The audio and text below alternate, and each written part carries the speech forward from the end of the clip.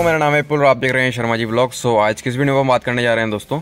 Baleno 2020 तो इसका gear थोड़ा सा स्टक लग रहा है मुझे और थोड़ा सा हार्ड लगने लग गया है, क्योंकि गाड़ी चल चुकी है, देख सकते हैं एक बार मैं आपको दिखा देता हूँ। तैंतालीस हज़ार नौ सौ पंद्रह यानी चौवालीस हज़ार ही मान लीजिए आप। और हल्का सा मुझे लग रहा है ऐसा कि इसके स्टिक जो गेयर हैं, वो हल्की सी जो उसमें नौचीपन आया है। और इसका आप देखते हैं किस तरह से क्या रहता है, क्योंकि इसकी अंदर से ग्रीसिंग वगैरह भी होती है दोस्तों। तो मैं सोच रहा हूँ कि वो आपको खोल करके पूरा प्रोसेस दिखा देता हूँ। कि किस तरह से क्या रहेगी। और हो सकता है तो इसकी एक बार आपको आवाज़ भी मैं सुना देता हूँ, अगर आएगी तो। गेट को बंद करते हैं। देखना एक बार आप जो इसका ये देख सकते हैं। थोड़ा सा हार्ड हो चुका है जो इसका प्ले था। तो जो इसकी जॉयस्टिक अंदर से होती है, उसको थोड़ी सी ग्रीसिंग करेंगे अपन, खोल करके किस तरह से होता है। आप भी कर सकते हैं, अगर ऐसा कुछ हो रहा है आपके साथ में, थोड़ा सा आपको लग रहा है कि गेयर नौची आ रही है, देख सकते हैं हल्का सा आपको फ़र्क महसूस होएगा जो पहले के गेट्स थे आपके उसमें। तो चलिए दोस्तों, फिर स्टार्ट करते हैं जल्दी से। आपको सबसे पहले तो इस पैनल को थोड़ा सा खोलना पड़ेगा, किस तरह से क्या रहेगा, वो प्रोसेस प्रोसेस आपको बता दूँगा मैं। और उसके बाद में ग्रीसिंग किस तरह से करनी है अपन को, वही पूरा प्रोसेस बताता हूँ आपको मैं। चलिए फिर स्टार्टिंग करते हैं और बताता हूँ आपको प्रोसेस किस तरह से इसको खोलना है। करते हैं दोस्तों, किस तरह से क्या प्रोसेस रहता है आपको पूरा बता देता हूँ मैं। तो सबसे पहले जो साइड बीडिंग्स दिख रही हैं आपको, ये सिल्वर्स वाली। ये दोनों तरफ़ की ये आपको निकालनी है और ये किस तरह से लगेंगी? ये अंदर से तो इंसर्ट हो रखी हैं और इधर की तरफ़ आपके लॉक लग रहे हैं, आगे की तरफ़ तो आपको आगे से उठानी है इसको, फिर तरफ़ सरका के इसको और ऊपर करके निकाल लेनी है इसको। दोनों तरफ़ की सिल्वर प्लेट हैं जो ये निकलेंगी। उसके बाद में फिर ये वाला पार्ट है अपना, ये खुलेगा। तो चलिए प्रोसेस को स्टार्ट करते हैं। सबसे पहले इसको खोलते हैं। तो हल्का सा इसको इस तरह से उठाएँगे अपन। ये वाली ऊपर हो चुकी देख सकते हैं आप लोग। और इसको अंदर की तरफ़ थोड़ा सा करके ये देखिए, अभी इस तरह से ये बाहर आ चुकी है पूरी की पूरी। इसके लॉक वगैरह सब कुछ एकदम सही है और लॉक वगैरह बिल्कुल भी टूटे नहीं है इसके। चलिए फिर इसको रखते हैं साइड में और उसके बाद में फिर आप स्टार्ट करते हैं इसका ये वाला प्रोसेस यानी ये वाली बिडिंग का। तो इसको भी अपन इस तरह से अपन को खींचना है। देख सकते हैं अपन, ये आगे से बाहर आ चुकी है। उसके बाद में इसको अंदर की तरफ़ थोड़ा करके इसको और ये इस तरह से ये निकल जाएगी दोस्तों, ये भी निकल चुकी है। अब नेक्स्ट प्रोसेस रहता है, वो रहने वाला है इसके ये वाले इस तरह का।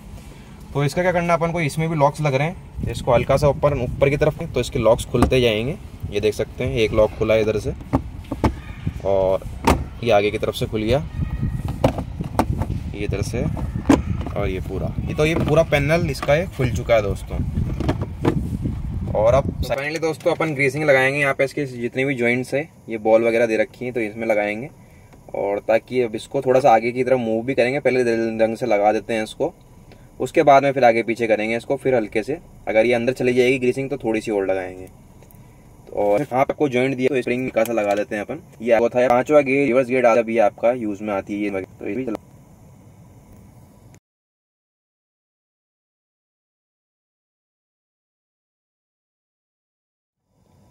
सो so, कुछ इस तरह से अपन को पूरी जगह अपन ने लगा ली है। अब इसको हल्का सा पहले जरा सा मूव करके देखते हैं, और फिर उसके बाद में। सो दोस्तों, आप जल्दी से इसको आगे पीछे मूव करते हैं, ताकि ये अंदर से थोड़ा सा मूवेबल हो जाए और ग्रीसिंग अंदर चले जाए। क्योंकि ये अभी लॉक अपन ने पूरा खोला नहीं है, इस वजह से हल्की सी प्लास्टिक आवाज़ कर रहा है। इसको आगे पीछे करते हैं।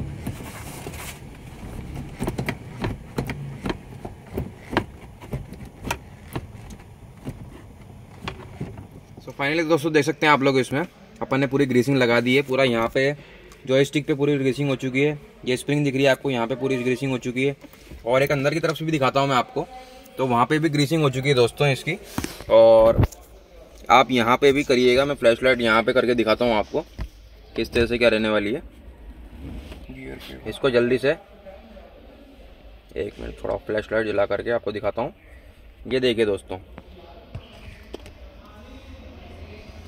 ये जो दिख पा रही है आपको केबल दिख रही होंगी, अंदर की तरफ़ दो। तो इन केबल्स में भी अपन ने अंदर की तरफ़ से ग्रीसिंग कर दी है दोस्तों। थोड़ा सा फोकस करके आपको दिखाता हूँ मैं। ये देखिए, ये जो दो केबल दिख रही हैं आपको, एक येरी और एक येरी जो आगे पीछे मूव करती है इसको तो दोनों के दोनों केबल के ऊपर ने ग्रीसिंग करके और इसमें पूरा सही कर दिया है। अब ग्रीसिंग के बाद बहुत ज़्यादा फ़र्क पड़ गया है दोस्तों। एक बार इसको जल्दी से पैक कर देते हैं पूरे को। और फिर उसके बाद में आपको दिखाते हैं किस तरह से क्या रहता है। और पहले आपने देखा गया था थोड़ा सा अटक रही थी गाड़ी। तो अब देखते हैं उसके बाद में कितना क्या फ़र्क आता है दोस्तों। तो फाइनली दोस्तों, देख सकते हैं आप लोग इसमें। पूरा पूरा अपने वापस प्रोसेस कंप्लीट कर दिया है और दोनों स्ट्रिप लगा दी हैं आगे पीछे की। और पूरा का पूरा पैक हो चुका है ये। एंड अब आपको गेयर लगा के दिखाते हैं, देखते हैं क्लच दबा करके। देखिएगा आप कितना ज़्यादा स्मूथ आ रहे हैं गेयर अब। ये देखिए। एकदम नए जैसे पूरे स्मूथ हो चुके हैं, जो कि मैंने बताया था एक उंगली से गेयर डल रहा है अब। और बहुत ही ज़्यादा स्मूथली डल रहे हैं और अगर फ़र्स्ट गेयर भी डालें तो ये देखिए आप first gear easily second gear third gear पूरे एकदम एकदम स्लॉट में आ रहे हैं एकदम आसानी से। ये देखिए, ये अपना आप ही आ गया फोर्थ गेयर हल्का सा करा था मैंने, ये अपना आप ही थर्ड में आ गया। और ये देखिए फिफ्थ गेयर और एक ही बार में आपका रिवर्स गेयर ये डल गया। ये रिवर्स कैमरा चालू हो गया आपका। तो ये न्यूट्रल में देखिए, आप नॉब देखिए आप। अब बिल्कुल भी आवाज़ नहीं कर रहा और एकदम ईजी हो गया ये। देखिए, एक हाथ से भी हिल रहा है। तो इस तरह से आप अपनी गाड़ी की पूरा बेलेनो आपके पास में है तो इस तरह से पूरी फिटिंग खोल करके और सही कर सकते हैं इसको।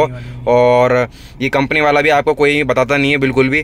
तो इस तरह से आप घर पर कर सकते हैं कोई इशू नहीं है इस पर आराम से पाँच सौ हज़ार रुपये आपका कंपनी वाले करेंगे तो भी आपसे लपेट लेंगे तो कोई मतलब नहीं आ रहा है। तो घर पर आप इस तरह से खोल के दो मिनट लगेंगे आपको पाँच मिनट लगेंगे ज़्यादा से ज़्यादा और ग्रीसिंग इस तरह से कर सकते हैं। तो गेयर भी स्मूथ हो जाएगा और दोनों काम हो जाएँगे आपके अंदर और दोनों आपकी साफ़ सफ़ाई भी हो जाएगी अंदर से और फिटिंग खोलना बहुत ही आसान है, मैंने आपको पूरा बता ही दिया। तो उम्मीद करता हूँ दोस्तों, वीडियो काफ़ी पसंद आया होगा आपको, पसंद आया तो लाइक शेयर कमेंट और सब्सक्राइब ज़रूर करना है शर्मा जी ब्लॉग्स को। सो मिलते हैं अपने नेक्स्ट वीडियो में। Thank you guys